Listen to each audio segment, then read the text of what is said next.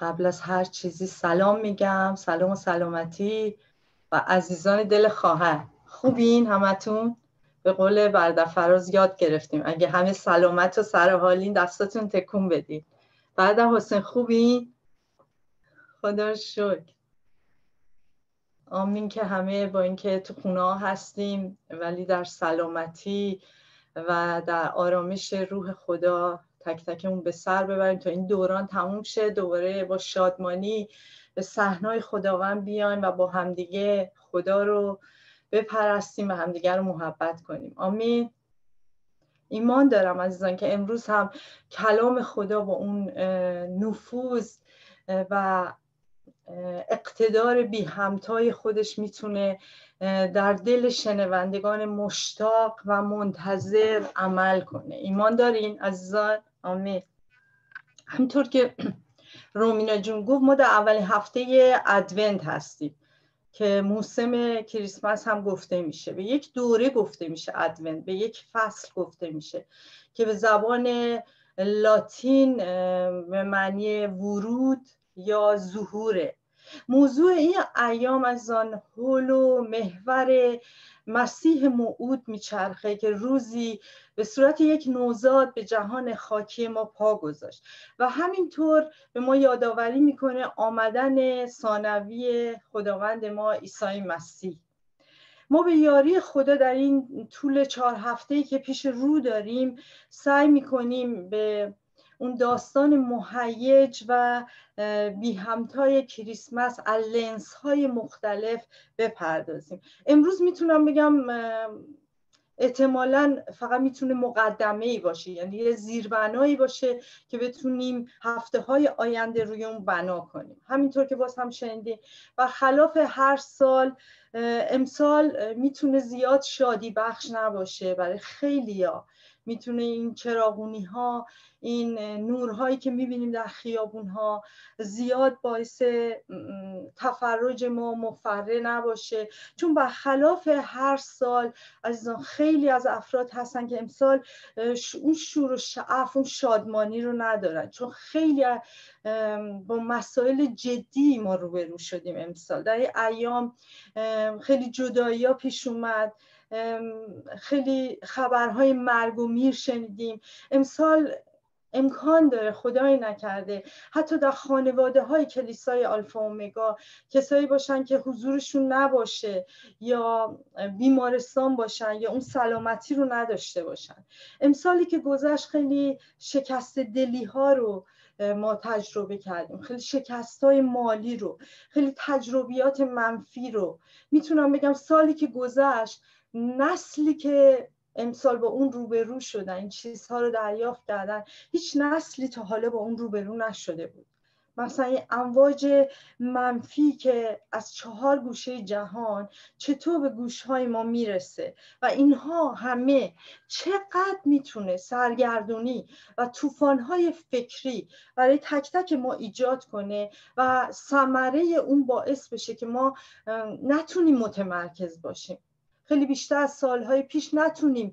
متمرکز پیامهای عالی که خداوند می‌خواد به کلیساش بده بشیم. برای همین احساس کردم چقدر نیاز داریم که در این زمانها که موسم کریسمس خیلی قاطعانه بر یک چیز متمرکز باشیم. یه طوری در پنجره های افکارمون رو عمدن روی خیلی از مسائل ببندیم. به قول پولس رسول در فیلیپیان باب سه آیه 13 میگه یک چیز می‌کنم فقط یک چیز می‌کنم آنچه که در عقب فراموش کنم و به سوی آنچه که در پیش خودم و خیشتن خودم رو بکشم.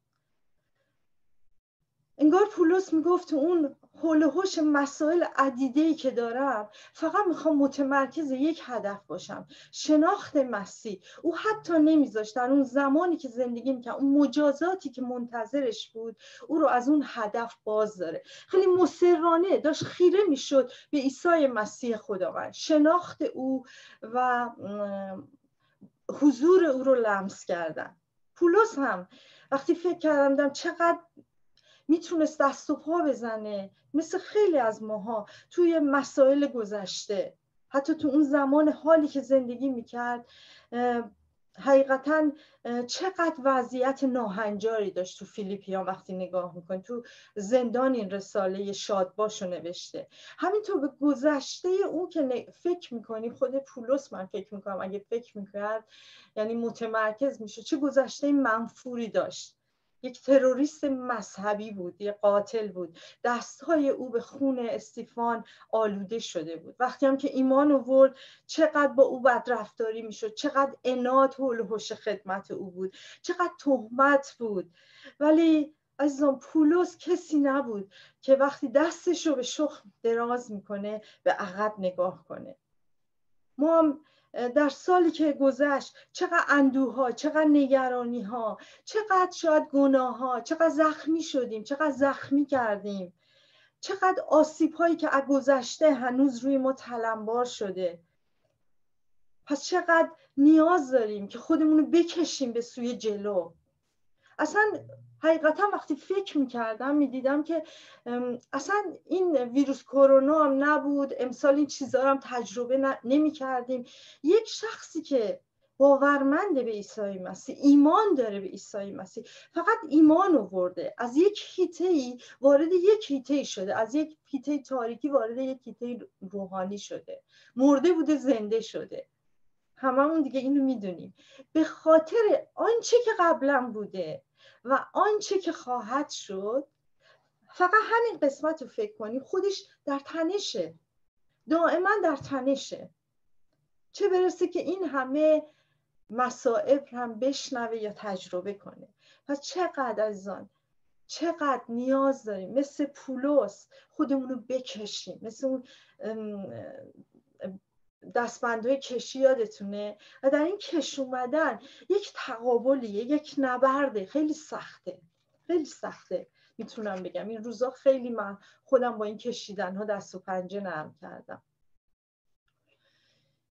وقتی به زندگی داوودم نگاه می‌کنیم داوود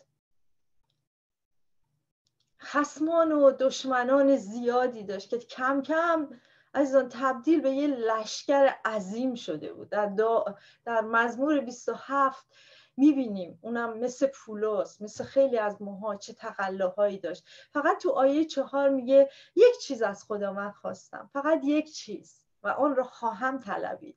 که تمامی ایام عمرم در خانه او ساکن بشم. به هیکل او تفکر کنم. در معبد او خیره بشم. به او تفکر کنم. این به دو تا زاویه داره اشاره می‌کنه. هم اون آرزویی که داوود داشت شاید از ابشالوم داشت تو بیابونها از دست پسرش فرار می‌کرد از دست دشمنان. و آرزو می‌کرد که یه روزی بشه برگرده به اورشلیم میان قوم خدا سکونت کنه. مثل ما این روزا نیست. نمی‌دونم چقدر حسرت داریم که دوباره اون روزا برگرده. به صحنه خداوند بیایم با همدیگه با تمام تفاوتامون اون رو بپرستیم.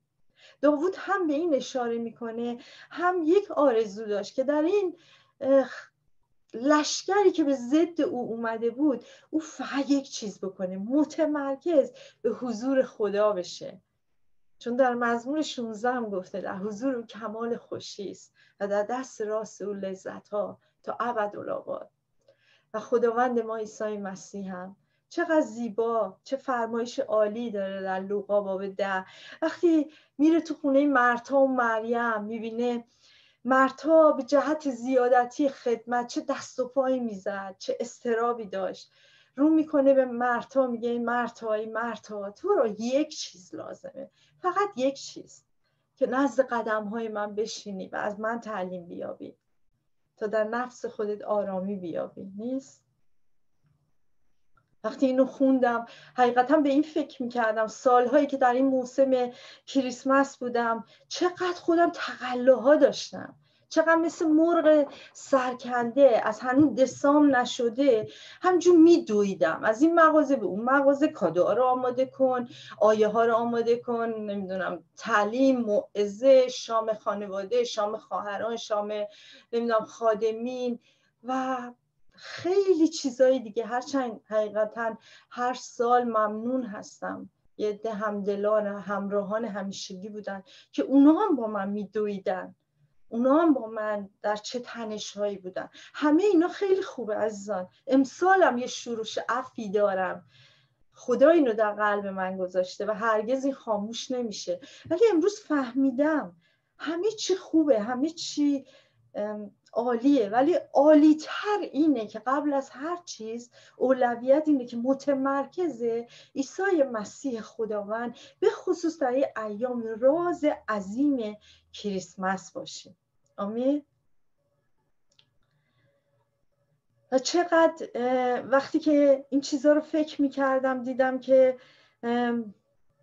این روزها البته بنا به رأی اراده خدا صدق سر آقا کرونا چقدر سعی کردم که متمرکز خدا بشم. امسال و خلاف سالهای دیگه. با تمام سلول های وجودم با تمام عصب ها با عزمی راسخ و خالص سعی کردم که به یک طرف خودم بکشم که راز عظیم تجسم عیسی مسیح و یه مقدار عظیمتر بفهمم و بیشتر سعی کنم به شناخت مسیح برسم. واقعا وقتی به این چیزا فکر می‌کنیم بازم به قول پولس می‌فهمیم که بقیه چیزا هر آنچه که هست که عالی تریه در مقابل شناخت عیسی مسیح فضله شمرده میشه.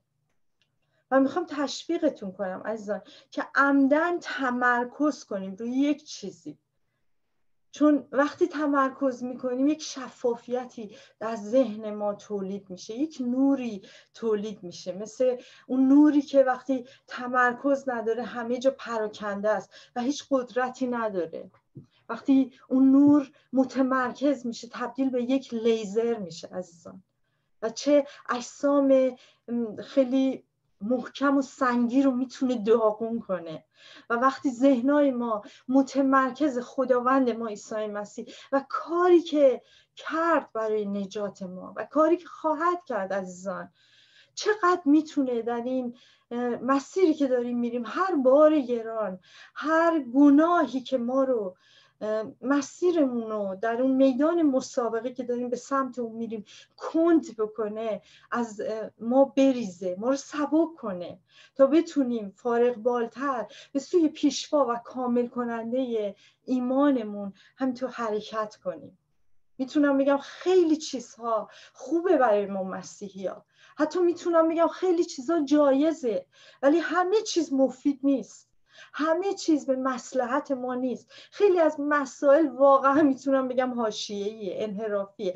حل و فصل کردن مسائل تکراری. چقدر می‌تونه ما رو منحرف کنه؟ از اون مسابقه و تمرکزی که پیش رومونه. از تمرکز به اون انعام پاداش بلند که ما فقط خوانده نشدیم عزیزان که نجات بیابیم. خیلی باختیم اگه اینطور فکر کنیم. بلکه خوانده شدیم در پادشاهی خدا به سوی اون پاداش و انعام بلند خداوند در عیسی مسیح حرکت کنیم. و برای اینکه در این ایام مبارک بیشتر و بیشتر متمرکز باشیم می‌خوام بهتون بگم هرگز عزیزان یادمون نره شاید این طوفان ها این مسائب یه کمی هم بیشتر بشه. ولی می‌خوام تشویقتون کنم که هرگز یادمون نره که انجیل خداوند ما عیسی مسیح حاوی یک خبر خوش و همیشگیه. یک خبر خوش دست نخورده در همه شرایط. چه زندگی های ما آفتابی باشه چه بارانی چه طوفانی چه آسمونش صاف باشه. چه ویروس کرونا بیاد حمله کنه چه سلامتی و چیزهای دستیابی به چیزهای انسانی باشه. می‌خوام بهتون بگم این خبر خوش که انجیل میده اینه که کنترل امور در دستای خداونده. دل ما مستحکم باشه. شیطان و نیروهای اخلالگرش هر چقدر که در جهان نیکو خدا بخوان گناه ایجاد کنن تنش ایجاد کنن آشفتگی و ترس ایجاد کنن. ولی عزیزان هیچ مانعی نمی‌تونن در برابر رأی اراده خدا به وجود بیارم. باور می‌کنی؟ پولس بازم در افسوسیان باب یک آیه یازده میگه. بنا به قصد او همه چیزها عزیزان همه چیزها. خدا با اون ذهن خداگونش می‌تونه به همه چیزها تمرکز کنه. ما فقط انسانیم. خوبه که خیلی موقع ها عزممون رو جذب کنیم به یک چیز تمرکز کنیم. میگه بنا به قصد خود همه چیزها رو موافق رأی خود آنچه که در آسمانه آنچه که در زمینه موافق رأی اراده خود به عمل میاره. تو چی بشه عزیزان؟ تا جلال خدا ستوده بشه. این خیلی می‌تونه آرامی در ما به وجود بیاره عزیزان نیست؟ و پیام این آیه اینه که چقدر خدا مشتاقه که قدرت بی قیاس خودش از قدرت بی قیاس خودش قدرت نامحدود خودش بسیار عظیم خودش ما رو آگاه کنه. نه اون قدرتی که در بعضی از شرایط میاد بعضی از اتفاقات رو در بر می‌گیره بلکه تمام اتفاقات از تمام شرایط که یه موقع ما خودمون رو مثل یه چیزی در یک جسمی در یه جسم سبک و در میون امواج می‌بینیم سرگردون ولی او می‌تونه موافق رأی خودش همه چیز رو به عمل بیاره. آمین. تا چی بشه از تا جلال او ستوده بشه. و ما انجام شدن و تجربه کردن این آیه رو از این قدرت سرمدی رو این رأی اراده بی قیاس او رو در موقعی که پسر خدا جسم گردید به وضوح دیدیم و ثمرش رو در زندگی های خودمون داریم می‌بینیم نیست؟ که عیسی مسیح در مکان و زمان در زمان خاصی در تاریخ بشریت به دنیا اومد و تاریخ تاثیر خیلی عظیم و شگرفی بر تمامی تاریخ بشر گذاشت. تا چی بشه؟ تا جلال خدا. از طریق عیسی مسیح و نجات ما ستوده بشه. دیدیم عیسی مسیح خداوند این حامل ذات خدا این فروغ جلال خدا این خاتم جوهر خدا.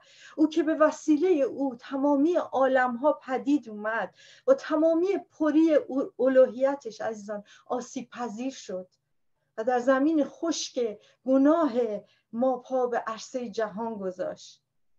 تا امید جلالی که در اسرائیل زایه شده بود عزیزان در من و تو دوباره دیده بشه و ستوده بشه. اینم دوباره پولس کولوسیا میگه که مسیح در من و تو امید و جلاله. و هر چقدر که ما به شناخت عیسی مسیح برسیم از به معرفت اون نائل بشیم این جلال بیشتر ستوده میشه دیده میشه. آمین؟ این دعوت بزرگ ماست. و نه فقط همین. بلکه در موسم کریسمس این ایام ادون همچنین از به رأی اراده خدا رأی اراده قاطعانه خدا.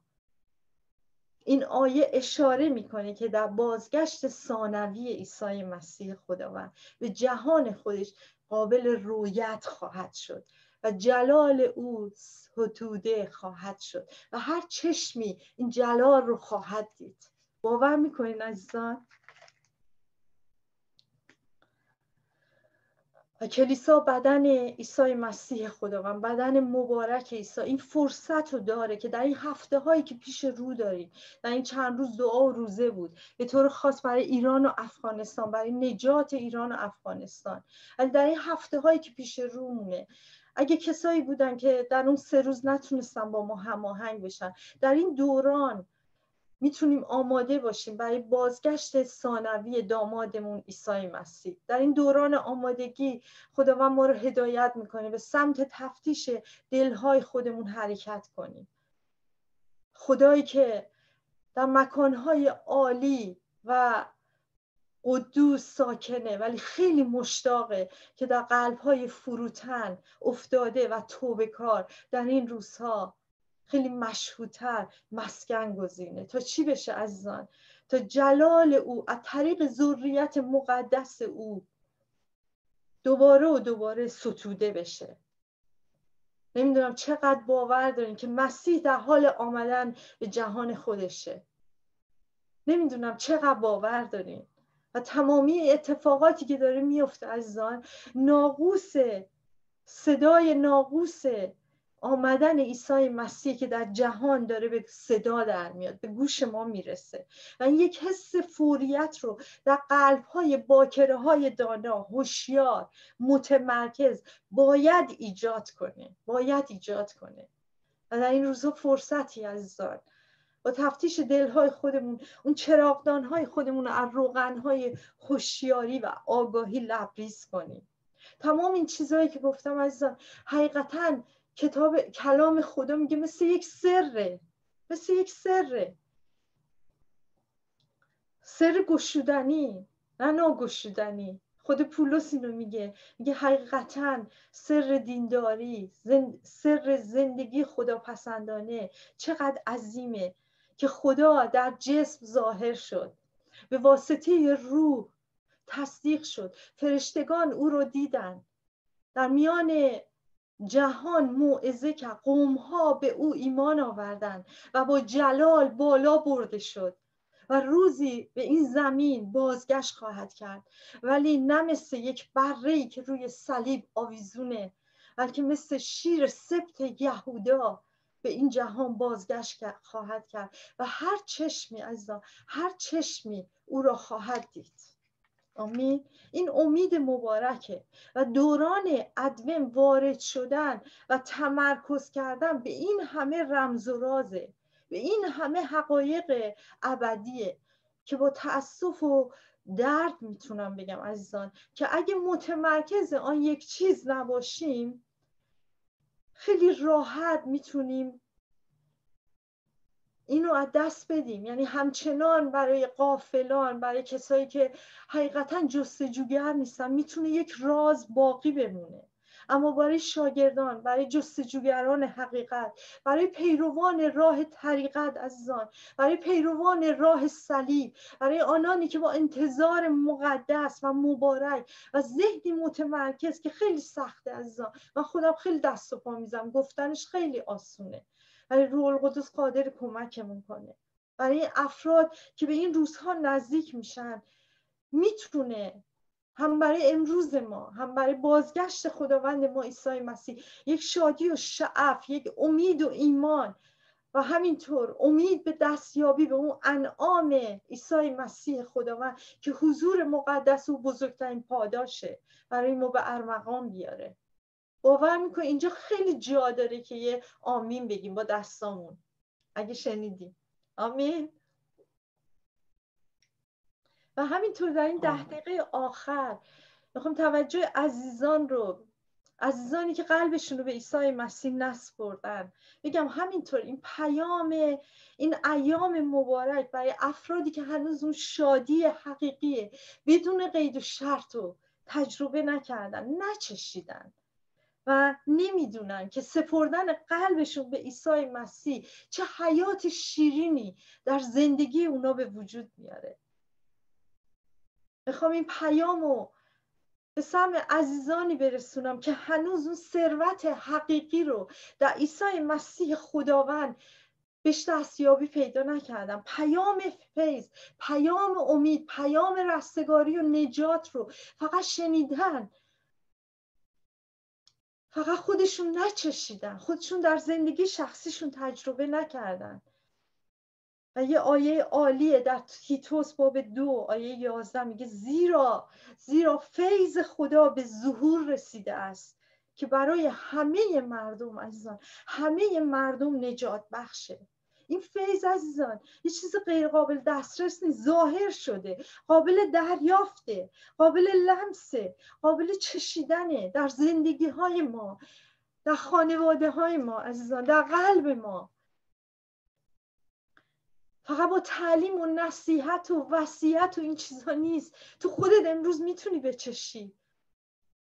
خدایی که انجیل پرقدرت و حیات بخش عیسی مسیح رو معرفی می‌کنه خدایان فلاسفه و ادیان متفاوت نیست. خدایی نیست که با خلقت خودش بیگانه باشه با خلقت خودش که پر از درد و رنج اون دور باشه. خدایی نیست که مبرا و منظم باشه فارغ از تاثیر پذیری این چیزهایی که به خورد ما دادن. جدا از دردهای بشری که از باغ عدم قطع شد رابطش اوریان شد فقیر شد و رانده شد. این خدا این انجیل خدا رو معرفی نمی‌کنه. خدای کتاب مقدس خدایی نیست که بگه منو بیا کرنش کن عبادت کن به خاطر 124 پیغمبر. که اگه کارهای نیک بکنی صدقات انجام بدی الله روزی مورد مغفرت و عنایت خداوندی قرار می‌گیری. نه عزیزان. خدای ما آسیب پذیر شد. خدای ما وارد دنیای یخزده و بدون محبت ما شد و همدرد ضعفای ما شد. فیض نزول کرد. فیض انسان شد. این خیلی قابل غیر قابل درکه می‌دونم عزیزان. می‌تونم بفهمم. بازم مثل یک راز راز تجسم اینه. خیلی غیر قابل درکه. مخصوصا برای ما انسان ها که انقدر به خوردمون دادن که خدا اون دور دوراست. اتفاقا خیلی دور بهتره که کسایی رو افرادی رو بفرسته راه و روشاشو بده. اصلا برای ما خدا اینجوری که تعریفشو می‌کنیم نه فقط رمز و رازه به نظر من می‌تونه ترسناک باشه و خیلی رو فراری بده. اما خدای جلال این یگانه بی همتا عزیزان خدای پری فیض امانوئیل خدا با ما شد. خدا با ما شد. و خدا می‌خواد تو اینو بچشی. این ثروت حقیقی رو. این حیات و نور حقیقی رو امروز در زندگیت بچشی. خود یوحنا اشاره می‌کنه در کتاب انجیل یوحنا باب یک آیه چهارده. کلمه جسم کردید و به میان ما ساکن شد. پر از فیض و راستی. جلال او را دیدیم. جلالی شایسته پسر یگانه خدا. از پری او جمعی ما بهره یافتیم. فیض به عوض فیض برکت به عوض برکت آرامش به عوض آرامش. در هر طوفانی عزیزان در هر تاون سیاهی این خدا خدای ماست. اما چرا عزیزان؟ چرا با بنی بشری که شاید اصلا سعی نمی‌کنه این محبت رو بچشه و داره ازش فرار می‌کنه چنین فیض رو ظاهر کرد. چرا این فیض نزول کرد در دنیای ما؟ بازم جوابش کتاب مقدس میده. آیه که همه ما از همون روز اول ایمانمون حفظیم. و یوحنا انجیل یوحنا سه 16 میگه زیرا خدا جهان را انقدر محبت نمود. که پسر یگانه خود را داد تا هر کی که به او ایمان آورد هر کی که به او ایمان آورد هلاک نگردد بلکه حیات جاوید بیابد. از این آیه دیگه خیلی خودمونی شده برای ما. و شاید به عمقش فکر نمی کنیم. زیرا خدا به نه یا ده تا از بزرگترین و عظیمترین کارهایی که خدا برای بنی بشر کرده داره اشاره می‌کنه. زیرا خدا اشاره به بزرگترین فرد جهان می‌کنه. جهان رو اشاره به بزرگترین میار اندازه می‌کنه. جماعت بشر تمامی جماعت بشر. انقدر انقدر. این کلمه داره اشاره می‌کنه به بزرگترین میار محبت نمون محبت عزیزان بزرگترین احساسی که در دنیا وجود داره در آسمان زمین وجود داره که پسر یگانه خود را این بزرگترین هدیه است عزیزان. بزرگترین هدیه که ذهنای محدود ما حقیقتا نمی‌تونه بدون مکاشفه روح القدس به او برسه. ایمان بیار. تا جلال خدا رو این بزرگترین ها رو تجربه کنی که پسر یگانه خود را بزرگترین هدیه داد. عزیزان داد بزرگترین عمل. تا هر که تا هر که این واژه اشاره به بزرگترین فرصت در این زمان ها برای تک تک شماهایی که قلبتون رو به عیسی مسیح خداوند ندادید. تا هر کی که ایمان آورد هلاک نگردد. بزرگترین وعده این وعده و وعید نیست که انسانها به هم میدن. این بزرگترین وعده از سوی خدای آسمان و زمینه که وعده از دهان او نشده که بگه ولی به دستاش به عمل نیاره و نقطه و حمزه از او به زمین نیفتاده و نخواهد افتاد. هلاک نگردد. بزرگترین وعده بلکه حیات جاوید اشاره به بزرگترین گنج می‌کنه. حیات جاوید. با چی می‌خوای تصور کنی؟ چی فکری داری؟ چی رو می‌خوای به دست بیاری؟ کدوم گنجی رو که قابل قیاس با این بزرگترین گنج؟ حیات جاوید. که نه فقط حیات جاوید در یک دنیای روحانی تجربه کنی بلکه روی همین زمین نوبری از اون رو نفس بکشی بچشی. بلکه حیات جاوید این بزرگترین گنج رو یابد. یابد. بزرگترین اطمینان بزرگترین امنیت. چه چیزیه که داری دست و پا می‌زنی که به دست بیاری در این روزها؟ عزیزی که داریم پیام گوش میدی. کجا دنبال امنیت میگردی؟ کجا؟ آنکه پسر رو دارد. تمامی این بزرگترین و عظیمترین حیات و نور را دارد. اما به کسانی که او را قبول کردن قدرت داد. از قدرت داد تا فرزندان خدا گردند. تا روزی که همونطور که زبان من اینو اعلام کرد و زبان خیلی از باورمندان به عیسی مسیح اینو اذعان کرد اینو فریاد زد. مثل محبت مسیح که روی صلیب اینطور فریاد زد بر تمام کائنان روزی این محبت و این بزرگترین ها رو بچشی و فریاد بزنی. مثل اون کور مادرزاد که در یوحنا باب نه بود. گفت من نمی‌دونم نمی‌دونم چی شده نمی‌دونم که چطور این حیات رو یافتم. چطور چشمای کور من باز شد. فقط یک چیز رو می‌دانم. فقط یک چیز رو می‌دانم که کور بودم بینا شدم. کور بودم بینا شدم. تا حالا شده به کسی بگین عزیزان. احتیاج ما به تعلیم نداریم. احتیاج به کلاس های تعلیمی نداریم. هر ایمانداری که حتی چند ساعت از تولد روحانی او گذشته از می‌تونه اینو فریاد بزنه اقلا توی خانوادهش که من نمی‌تونم تعلیم بدم. نمی‌دونم این باد از کدوم ور اومد به کدوم ور. وزید فقط می‌دونم که کور بودم بینا شدم. و آرزوی خدا و کلیسای زنده خداوند برای شما عزیزانی که الان دارین امروز این پیام رو میشنوین اینه که این حیات وافر رو در عیسی مسیح خداوند بچشین. نه فقط بشنوین بلکه خودتون بچشین که عیسی مسیح در چقدر نیکوه. خداوند در عیسی مسیح چقدر نیکو و قابل لمسه. خودتون. و ببینین که عیسی چقدر نیکوست عزیزان. یه چند لحظه سرهای خودمون خم می‌کنیم و دعا می‌کنیم. اول برای عزیزانی می‌خوام دعا کنم که از هر گوشه جهان این پیام دعوت به انجیل نجات بخش عیسی مسیح خداوند رو شنیدن و می‌خوان قلبشون رو به خداوند بدن. به قول ما ایرانیا با حلوا حلوا کردن دهن شیرین نمیشه عزیزان. خدا امروز تو رو دعوت می‌کنه که این شیرینی این حیات رو در هر شرایطی که هستی در هر عمق گناهی اسیانی درد و رنجی که هستی بچشی.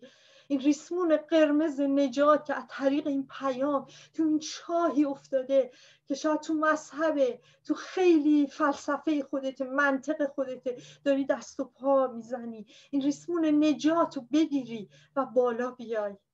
در نام عیسی مسیح دعا می‌کنیم. ای خدا و امروز پیامی رو این عزیزانم شنیدن که می‌تونه یک رازی باشه برای اونا که می‌دونم با قدرت و توانایی خودشون این راز باز نمیشه. فقط رول قدس دعا می‌کنم تو دخالت کنی. دعا می‌کنم خداوند.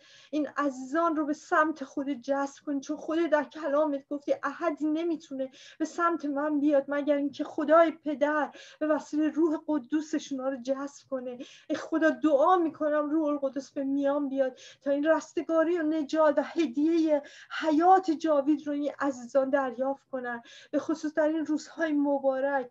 دعا می‌کنم که چشم دل اونا رو روشن کنی. دعا می‌کنم که خداوند ای خدای عالی در این روزها تمرکز اونا رو زیاد کنی که یک چیز به طلبن که راجع به این پیام فکر کنن ای خداوند که خداوند ایمان بیارن که تو به خاطر گناه های اونا مردی روی صلیب و بعد از سه روز قیام کردی. تا بتونن با تمامی دل و جان به تو ایمان بیارن خداوند و بخشش از گناهان نکبت ها درد ها گره های فکری و ذهنی خودشون رو باز بشن. تا بتونن در ایام مبارک حقیقتا فرزند تو باشن و یک کریسمس عالی رو همراه به هر کلیسایی در این گوشه جهان که بدن مقدس تو بتونن جشن بگیرن. همینطور خداوند برای کلیسای محلی خودمون دعا می‌کنیم. اگه هنوز هر فلسی روی چشمای ماست ای خداوند که حقیقتا نمی‌تونیم باور کنیم که اومدن تو بر دره تپش قلب های تو رو که چقدر اشتیاق داری که به سوی عروست بیای. خداوند نمی‌تونیم بشنویم. شاید خیلی ها اصلا جدی نگرفتن. به خدا من باشه که این کلام. ذهن و قلب های این عزیزان رو متمرکز یک چیز بکنه یک چیز. یک چیز راز عظیم کریسمس. و اینکه تو به زودی خواهی آمد. و اینکه کلیسا در یک فوریت خیلی شدیدی قرار داره. که باید آماده بشه برای دامادش باشه که هیچ کدوم از ما بازمانده نشیم. از اون دروازه تنگ رستگاری با همدیگه با همدیگه عبور کنیم. چون در نام قدوس عیسی مسیح خداوند دعا کردم. و کلیسای مقدس او بگه آمین و آمین